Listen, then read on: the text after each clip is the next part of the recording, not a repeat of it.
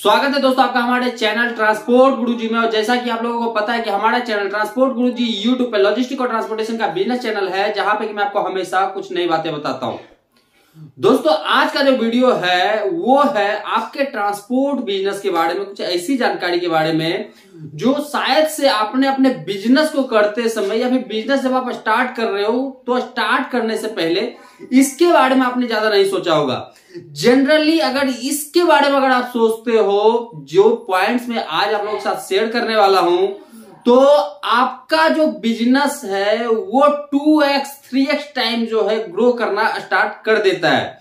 इसके बारे में दोस्तों, आपको जानकारी लॉजिस्टिक इंडस्ट्री से लॉजिस्टिक इंडस्ट्री में जितनी भी जानकारी दी गई है कहीं पे आपको नहीं मिलने वाला है, ना ही आपको गूगल पे सर्च करके कहीं मिलने वाला है, ना तो किसी यूट्यूब वीडियो पे मिलने वाला है। जो जानकारी आज मैं आप लोगों के साथ शेयर कर रहा हूँ। दोस्तों, ये जानकारी है किसी भी तरह के ट्रांसपोर्टेशन लॉजिस्टिक करने वाले बिज़नेस वालों के लिए, या फिर जो करना स्टार्ट करना चाहते हैं वैसे लोगों के लिए, या फिर जो किसी कंपनी में सेल्स का काम देखते हैं कैम है उन लोगों के लिए ये वीडियो बहुत ज़्यादा इंपॉर्टेंट है।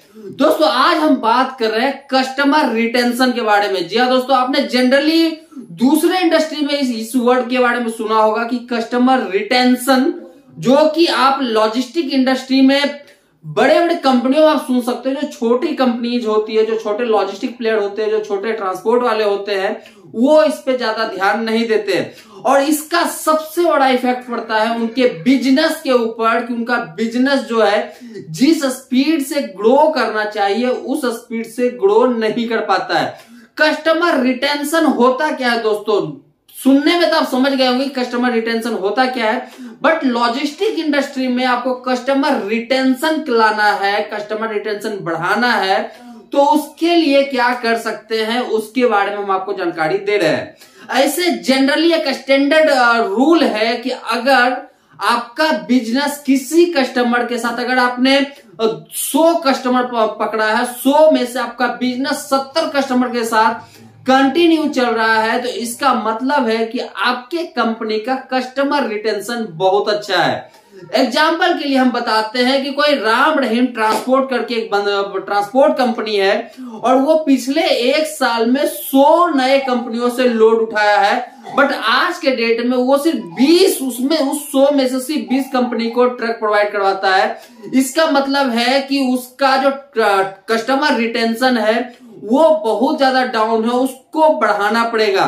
और उसको जब बढ़ाएँगे तो क्या होगा? और उससे फ़ायदे क्या होते हैं दोस्तों? आज हम इसके बारे में जानकारी आप लोगों के साथ शेयर करने वाले हैं। तो सबसे पहले हम बात करते हैं कस्टमर रिटेंशन में कस्टमर का क्या रोल होता है। दोस्तों, अगर आपको कोई नया बिज़नेस पकड़ना है तो उस नए बिज़नेस को लेने के लिए आपका कोई ना कोई कोस्ट वहाँ पे लगता है। चाहे वो आपका टाइम हो, चाहे पैसा हो, चाहे आपका एम्प्लॉय की सैलरी हो चाहे किसी तरह का कोई इंसेंटिव हो, ये हर चीज़ जो है आपके बिज़नेस के लिए एक वैल्यू क्रिएट करता है। और जब आपका वही कस्टमर आपसे एक बार, दो बार या तीन बार बिज़नेस करके आपका, आपके साथ बिज़नेस करना बंद कर देता है तो यहाँ पे जो आपने वैल्यू क्रिएट किया था, जो आपने वैल्यू दिया था कस्टमर को लाने के लिए, वो पूरा का पूरा वेस्ट हो जाता है। तो इसको बनाया कैसे जाए ताकि वो जो कस्टमर है, जो आपके पास से दो चार वाल मटेरियल ट्रक लेकर के बिज़नेस करना बंद कर दिया है तो उस पर आपको ध्यान देना चाहिए। वो ध्यान देने के लिए आपको किन किन चीज़ों पे ध्यान देना आज हम उसके बारे में जानकारी आपको दे रहे हैं। तो दोस्तों,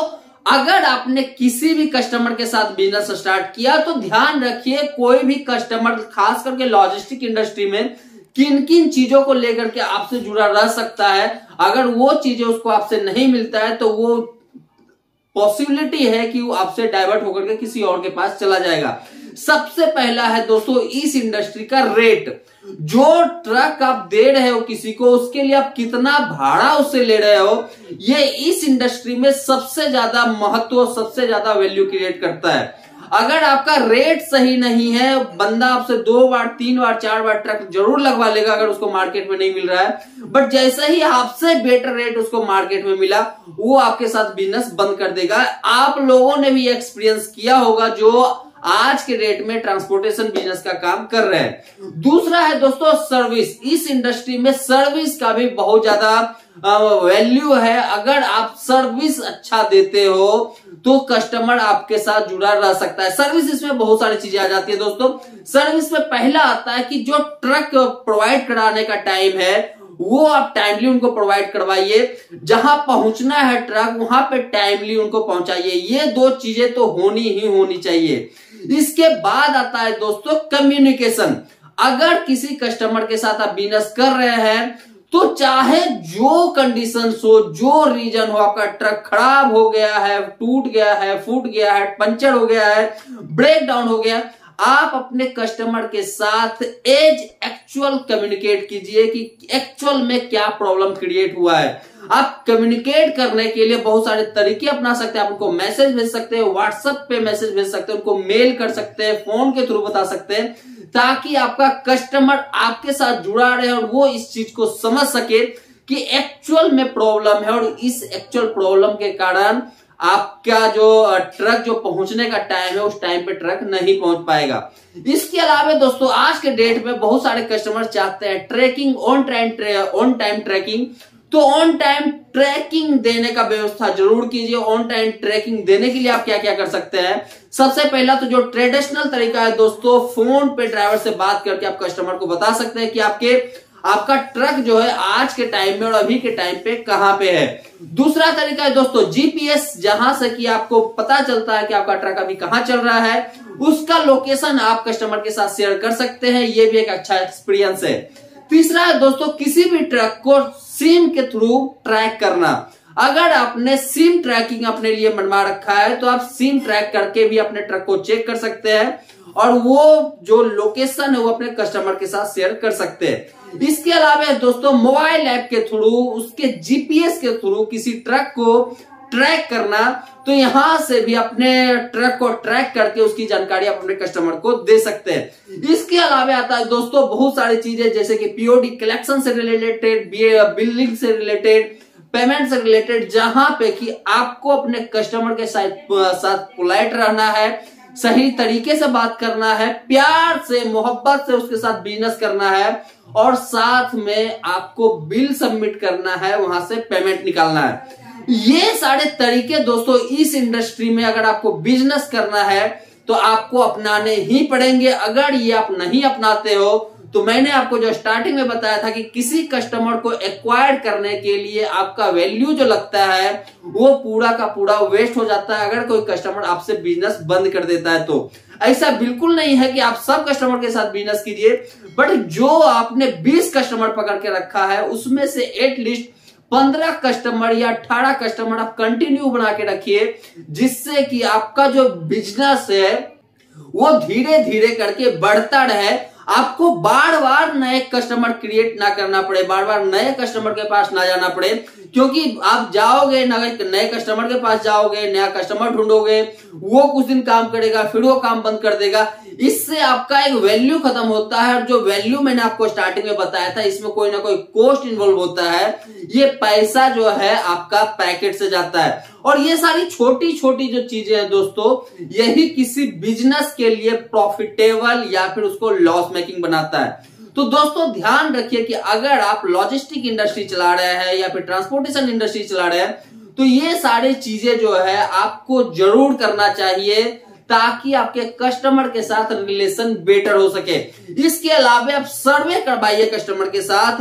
उनके पास किसी बंदे को, ऐसे बंदे को भेजिए जो कि आपके कंपनी के साथ, उनके साथ कम्युनिकेट पहले कभी नहीं किया हो, वो जा करके पहली बार कम्युनिकेट करे।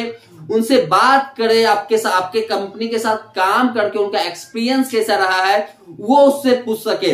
वहाँ से भी आपको कुछ चीज़ें निकल के सामने आ सकती है कि उनको प्रॉब्लम्स क्या और क्रिएट होता है, किसके लिए, क्या चीज़ आप उनके लिए बेटर कर सकते हैं। और जब वो सारी चीज़ें आप धीरे धीरे ऐड करते हो अपने बिज़नेस में तो यही जो चीज़ें हैं, ये आपके कस्टमर के रिटेंशन को बढ़ाता है। मतलब कि इस साल आपने 100 कस्टमर पकड़ा और 70 कस्टमर आपके साथ बिज़नेस कंटिन्यू कर रहा है पूरे साल तक में। तो नेक्स्ट ईयर आप पचास कस्टमर और जोड़ो, सत्तर ये है, पचास वो हो सकता है कि उसमें से दस कस्टमर या बीस कस्टमर और हट जाए तो भी आपके पास नंबर ऑफ़ कस्टमर बढ़ते जाएँगे। और ये जो नंबर ऑफ़ कस्टमर जैसे जैसे आपका दोस्तों बढ़ते जाएँगे, आपका बिज़नेस उसी हिसाब से और ज़्यादा ग्रो होता जाएगा। तो दोस्तों, इस पे आप लोग वर्क कीजिए। कहीं भी कोई प्रॉब्लम होता है तो आप मुझे कमेंट में पूछ सकते हैं। सब्सक्राइब कीजिए दोस्तों हमारे चैनल को, क्योंकि हमारे चैनल पे आपको मिलता है हमेशा नई नई जानकारी नए नए सॉल्यूशंस जो आपको और कहीं भी नहीं मिल पाता है। बिज़नेस करके या फिर किसी के साथ डिस्कशन करके। तो दोस्तों, आज के लिए था इतना। हम मिलते हैं अपने नए वीडियो में फिर से कुछ के साथ। तब तक के लिए धन्यवाद।